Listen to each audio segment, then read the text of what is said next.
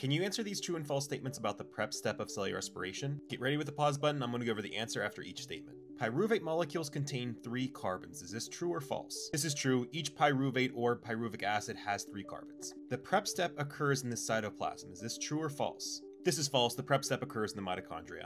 ATP is produced during the prep step. Is this true or false? This is false. This is the only step that doesn't produce ATP. The prep step happens twice for each glucose molecule. Is this true or false? This is true. Since glycolysis breaks down glucose into two pyruvates, each pyruvate has to go through this reaction, so this occurs twice per glucose. Oxygen is directly used during the prep step. Is this true or false? This is false. Even though the prep step is a part of aerobic respiration, it's not directly used during this step.